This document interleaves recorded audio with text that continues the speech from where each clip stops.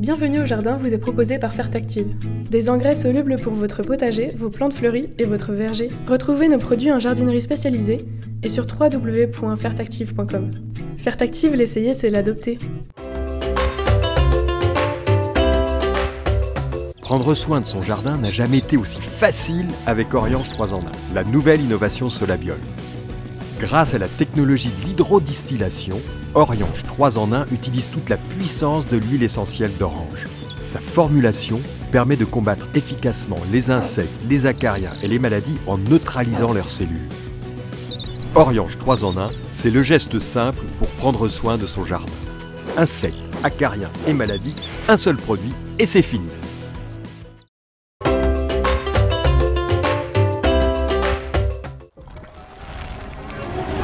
Ils arrivent. Pour envahir votre jardin. Ne tremblez plus. Encore une mission pour Ronda. Il s'attaque aux mauvaises herbes en une heure seulement et contient une matière active existante dans la nature. Vous cherchez la petite bête? Toutes les réponses dans le dossier de Bienvenue au Jardin. J'ai envie qu'on se fasse un petit plaisir, mais vraiment le plaisir, parce que le parfum dans un jardin, il n'y a rien de tel pour se donner un bon moment. Faire un jardin parfumé, mon premier conseil, ça sera de pas tout mélanger. C'est-à-dire que quand on fait un jardin parfumé, on va mettre des plantes à parfum ici et là, mais on ne fait pas un énorme massif avec plein de parfums qui vont se mélanger, parce que souvent, ça peut devenir à la fois entêtant et pas forcément agréable. On va parler aujourd'hui uniquement des arbustes parfumés, parce que nous vous réserverons, je crois dans deux semaines, j'ai prévu ça, les fleurs. Ben oui, parce qu'il y a énormément de plantes à parfum et de plantes parfumées intéressantes dans les jardins. Alors on va dire deux mots quand même sur le parfum. On n'est pas très olfactifs, nous les humains. Non, on a une mémoire olfactive qui est riche parce qu'on se souvient des parfums de notre jeunesse, mais on a beaucoup de mal, contrairement à la vue. Et le chien, par exemple, a un odorat dix mille fois plus subtil que le nôtre. Nous, par exemple, on a du mal, à part les grands nez euh, des gens particuliers, qui sont capables de distinguer dans un parfum les différents composants. La plupart des gens ils disent ça sent bon, ça sent pas bon, ou ça sent la fleur, ou bon, oui, mais voilà. L'intérêt de se poser la question, c'est de se dire aussi pourquoi les plantes sont parfumées. Oui, ça c'est une vraie question. Est-ce que ça ne serait pas euh, à cause ou grâce des petits insectes qui viennent papillonner ou se promener dessus? Enfin, C'est pas grâce, en fait, c'est pour les attirer. Oui. Les végétaux étant par définition immobiles, enfin du moins fixés dans un endroit, ils peuvent pas aller courir le guidou à droite à gauche pour rencontrer la belle qui leur permettrait Ah, de se oui. reproduire. Ils doivent attirer des entremetteurs pour pouvoir être fécondés. Et pour pouvoir attirer certains insectes, eh bien, certaines plantes développent effectivement des parfums à des degrés d'intensité assez variables et souvent à des périodes de la journée différentes. Tu as pu remarquer, par exemple, que Oui. les parfums évoluent même d'ailleurs sur la même plante dans la journée. Oui, le matin, sur les aromatiques par exemple, c'est beaucoup plus sensible. Et les plantes les plus sensuelles, c'est plutôt le soir. Le jasmin est beaucoup plus intense dans son expression olfactive le soir que le matin. On ne parlera pas non plus dans cette chronique des feuillages parfumés, parce qu'on a quand même par exemple tous les pélargoniums odorants qui sont très intéressants, et je pense qu'un jour ou l'autre on y reviendra. En revanche, est-ce que la couleur joue un rôle dans le parfum? J'en sais rien du tout. Eh bien, quand on regarde bien dans le monde végétal, on se rend compte que 50% des fleurs blanches sont parfumées. Ok, ben alors c'est un lien avec le blanc? C'est-à-dire que les fleurs qui ne sont pas attractives sur le côté coloré, elles vont utiliser le parfum. En clair, le blanc est moche, donc il faut du parfum. Le blanc est peu neutre, visible oui. et moins attractif. Après, il y a quand même les rouges. Attention, les rouges purs. Alors, on parlait de géranium, par Oui. exemple, le, le pélargonium rouge vif, ça Sent. sent rien du tout. Ah oui. Quand vous regardez des roses rouges très parfumées, vous allez vous rendre compte qu'il y a toujours du bleu dedans. Elles, elles ont toujours un rose légèrement violacé. Et plus on va vers le violet, et plus le parfum va être intense. Le jaune aussi peut être un peu parfumé. En revanche, les bleus, hormis les lilas, Oui. mais qui sont parfois quand même plutôt bleu violacés, là aussi, on a du bleu et du rouge, et les oranges. Des oranges parfumées, pas beaucoup.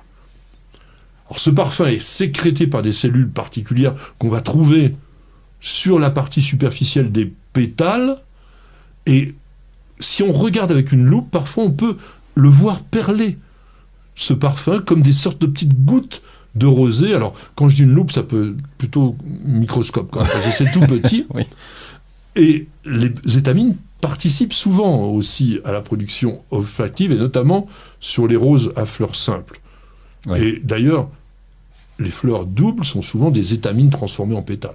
Il y a énormément d'études qui ont été faites sur les parfums des fleurs, et on montre que la synthèse de ces parfums est liée souvent aussi à la quantité d'amidon qu'il y a dans les pétales. Une fleur qui est très diaphane, qui est très très fine, elle sera souvent moins parfumée qu'une fleur un peu charnue. Donc plus c'est simple, et plus c'est blanc, et plus c'est parfumé en clair. Plus la fleur passe inaperçue, et plus le parfum peut être violent. On va voir peut-être pas forcément dans les plus parfumés, on a des fleurs charnues, épaisses, et qui sont très parfumées.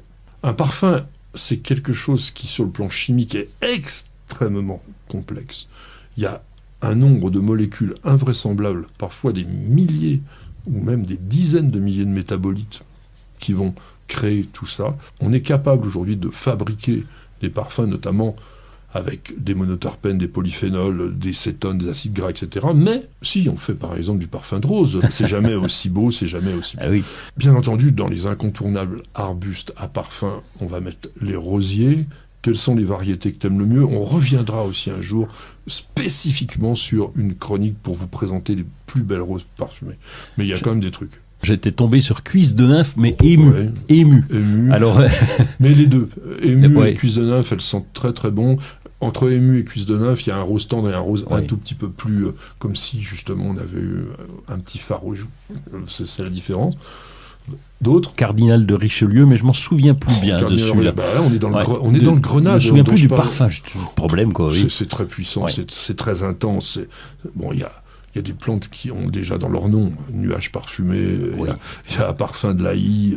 Alors ça, c'est nuage parfumé, c'est une variété moderne, mais parfum de l'aïe, c'est des anciens. Dans les anciens, la Yolande d'Aragon, Présidente 16, sont des, vraiment des très très très belles variétés puissamment odorantes. Les créations de Monsieur David Austin, donc les rosiers anglais, généralement sont très parfumés. Moi, j'ai bien bien aimé chez lui euh, Graham Thomas, qui est un jaune d'ailleurs. C'est assez Mm. rare d'avoir un parfum dans ces variétés jaunes. On a Bolshoi chez Meillan, qui est un orange. Ah tiens, on dit orange, il n'y en a pas beaucoup, Oui. mais Bolshoi qui est orange chamois. Super parfum, grand siècle, jardin de bagatelle. Papa Meillan, ça j'allais oublier. Ouais. Alors, je voulais pas en parler de Papa Meillan parce que c'est vrai qu'on le vend encore énormément dans les pépinières. Là, vous avez intérêt à avoir le pulvérisateur à côté. hein. Bah, C'est quand même bon. extrêmement, extrêmement fragile. Un rouge très foncé, Papa Meillan. Et plus on est dans ces couleurs-là, plus généralement le Marsonia, il est Mm. dans son univers. il y a des incontournables. Ah, le seringa. Le, le Euh, ça- alors, donc lui, il sent à 2 km lui. hein. Philadelphus, Oui. euh, donc au printemps, on l'appelait le jasmin des poètes, très très bel arbuste, qui nécessite d'être taillé, sinon en vieillissant il est moche, parce qu'il va Oui. perdre vraiment sa densité. Donc n'hésitez pas à le tailler correctement, sérieusement, après la floraison. Le lilas, évidemment, mais t'en as parlé, on va On, a- passer. on avait déjà fait une chronique spécifique Oui. sur les lilas, mais c'est vrai que le, le parfum est vraiment puissant, profond, chaleureux, agréable. Bon, mimosa, mais bon, je veux pas t'en parler, c'est pas la C'est région. de chez toi, C'est mais en mi- pot. Mais franchement, comme on est en hiver sur la floraison du mimosa, ceux qui ont le climat, il vaudrait mieux être vraiment en orgel autour de moins 5 minimum. Ça peut être vraiment très très agréable. Ça sent très bon, sol caillouteux, calcaire, sec. hein. Moi, un dont je ne peux pas me passer, et pourtant, ma petite jardinière ne l'aime pas, le sarcococa. Oh, c'est joli, pourquoi elle aime pas? Qu'est-ce qu'elle nous fait? Non, c'est pas qu'elle ne le trouve pas beau, elle n'aime pas le parfum. Ah, le C'est un parfum très entêtant, c'est un parfum qui est miellé, qui, Oui. qui est intense et qui peut déranger. Parce qu'attention, les parfums c'est agréable, mais quand ils sont trop forts, ça peut être vraiment Alors, terrible. lui, c'est terre de bruyère quand même. Hein. du tout. Ah, ah, Non, non, chez nous, il pousse directement dans le sol. J'ai strictement rien mis de particulier. Non, non. Le sarcococa est une plante sans problème. Je te conseille d'en essayer un chez toi, c'est même rustique. L'avantage, c'est que ça fleurit en plein hiver. Un autre qui fleurit en plein hiver, qu'on voit moins dans les jardins, la viorne hybride bodnantincée, ça sent la jacinthe, c'est puissant. Et ça vient très tôt, mais c'est un bel arbuste, hein, il Oui. est conséquent quand même. Alors dans les viburnums, il y a Carlésie aussi, qui sont Mm. très bons, qui fleurit plus tard. On va aller très très vite maintenant. L'oranger du Mexique, le choisia, ça, c'est couvert de fleurs, ça sent vraiment la fleur d'oranger. Bien sûr, tous les agrumes ont des odeurs sublimes. Tous les oranges et les citronniers. Je peux terminer. Oh, mais que t'as- Daphné odora. C'est à tomber sûr. par terre. Alors ça, euh, obligatoire dans tous les jardins.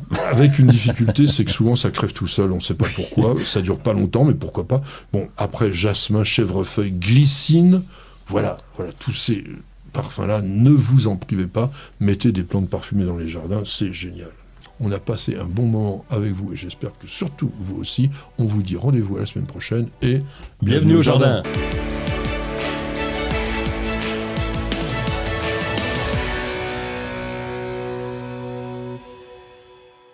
Vous avez écouté Bienvenue au jardin avec Fertactive. Des engrais solubles pour votre potager, vos plantes fleuries et votre verger. Retrouvez nos produits en jardinerie spécialisée et sur www.fertactive.com.